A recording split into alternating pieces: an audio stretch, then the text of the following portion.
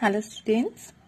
Today we are going to see the in-text question 2.8. The vapor pressure of pure liquids A and B are 450 and 700 mmHg respectively at 350 Kelvin temperature. Find out the composition of the liquid mixture if total vapor pressure is 600 mmHg and also find the composition of the vapor phase right? In this equation the vapor pressure of liquid A and B are given right? And P total is also given. We have to find out the composition of this mixture right?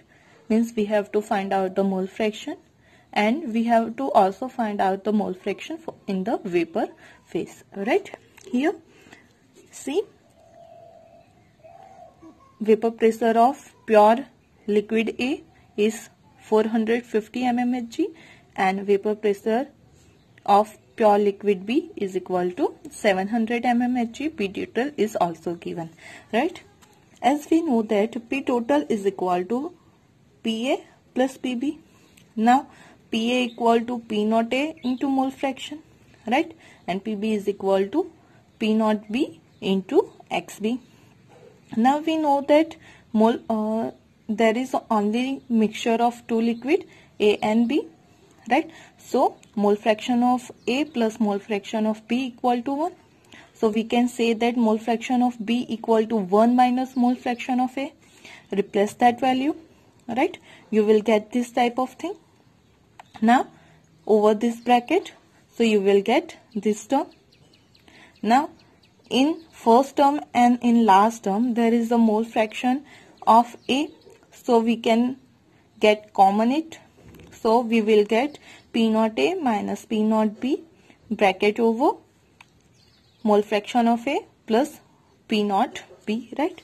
We having the values of P total, P naught A, P naught B, right? Replace that value. So you will get the answer mole fraction of A is equal to 0.4, right? Now mole fraction of B is equal to 1 minus mole fraction of A. Replace the value of mole fraction of A. So you will get the mole fraction of B is equal to 0.6, right?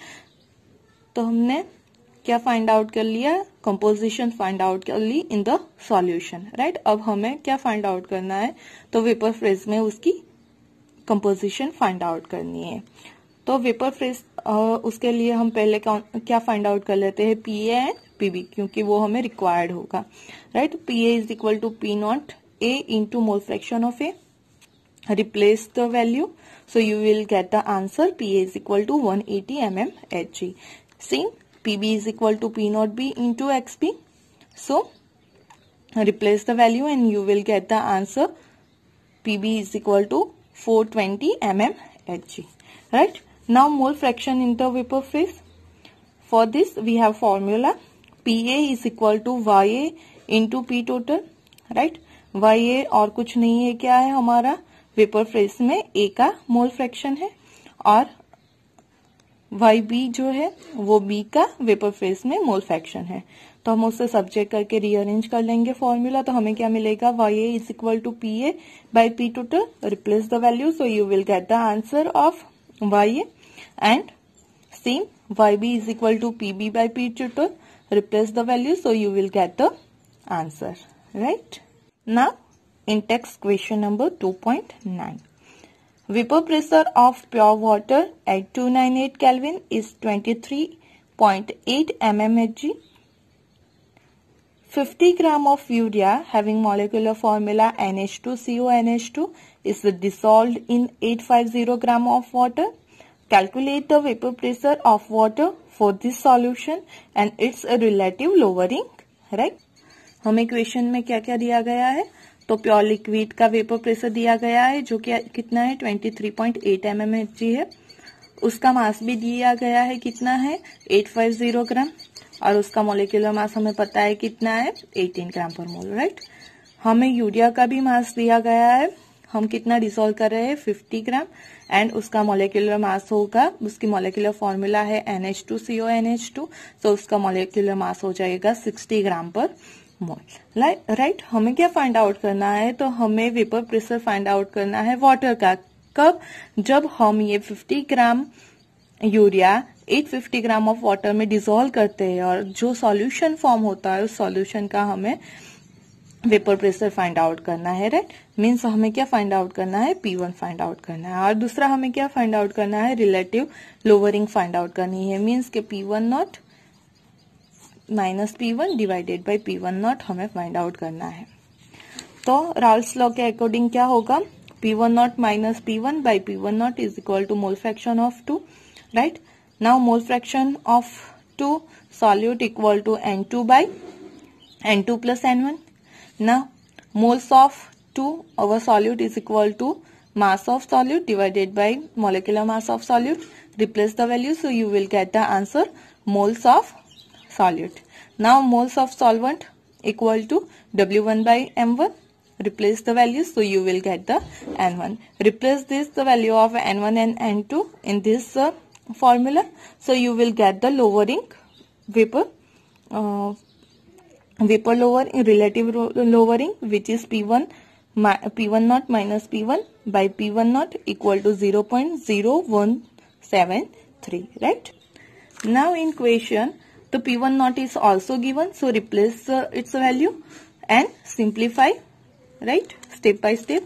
So you will get the answer p1 equal to 23.38 mm hg right now in text 2.10 boiling point of water at 750 mm hg is 99.663 degrees celsius how much sucrose is to be added to 500 gram of water such that it boils at 100 degree Celsius.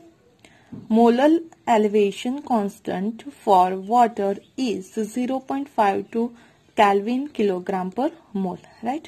हमें क्या करना है? अगर हम pure water लेते हैं, उसका जो बॉइलिंग पॉइंट है वो कितना होगा? 99.63 डिग्री सेल्सियस कब? जब उसका वेपर प्रेशर होगा 750 750 mmHg राइट? अगर हम वाटर में कितना सुक्रोज करे, कितने वाटर में 500 ग्राम वाटर में कितना सुक्रोज ऐड करे जिससे उसका बॉइलिंग पॉइंट 100 डिग्री सेल्सियस हो जाए। और जो वो एलिवेशन हो रहा है बॉइलिंग पॉइंट में, उसके लिए जो एलिवेशन कांस्टेंट है, वो दिया गया है K b is equal to zero point five two kelvin kilogram per mole inverse right यहाँ पे प्योर वाटर का बॉइलिंग पॉइंट मीन्स हो गया टीबी नॉट जो है 99.63 you can convert or you can use direct this value now tb is equal to 100 degree so convert it into kelvin so you will get the 373 kelvin now delta tb is equal to delta tb minus tb not क्योंकि यहाँ पे क्या होगा जो pure solvent होगा उससे ज़्यादा ही उसके सॉल्यूशन का बॉइलिंग पॉइंट होगा, क्योंकि हमने पढ़ा है एलिवेशन इन बॉइलिंग पॉइंट मतलब जो प्योर है सॉल्वेंट उससे ज़्यादा होता है सॉल्यूशन का तो हम सॉल्यूशन के बॉइलिंग पॉइंट में से प्योर सॉल्वेंट का बॉइलिंग पॉइंट माइनस करेंगे तो हमें मिल जाएगा delta T B is equal to zero point three seven kelvin और क्या क्या गिवन है? डब्ल्यू टू हमें फाइंड आउट करना है। डब्ल्यू वन गिवन है। 500 ग्राम हम 500 ग्राम वाटर में ही डिसोल्व कर रहे हैं। एम वन है एम वन है 18 ग्राम एम टू हो गया। वो सुक्रोज है सुक्रोज की फॉर्मूला है C twelve H twenty two O eleven so उसका मोलिकुलर मास होगा थ्री फोर टू ग्राम पर मोल और के बी कितना है?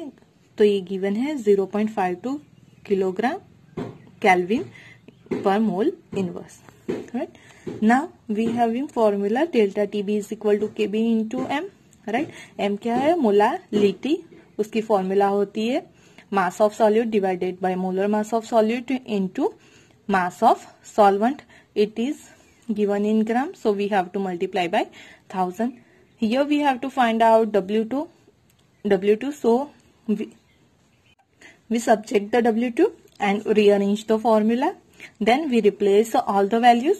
So we will get the answer 121.67 gram means जब हम इतना ग्राम सुक्रोज डिसोल्व करेंगे 500 ग्राम वाटर में तो उसका जो बॉइलिंग पॉइंट है वो कितना हो जाएगा? 100 डिग्री सेल्सियस हो जाएगा। आया समझ में?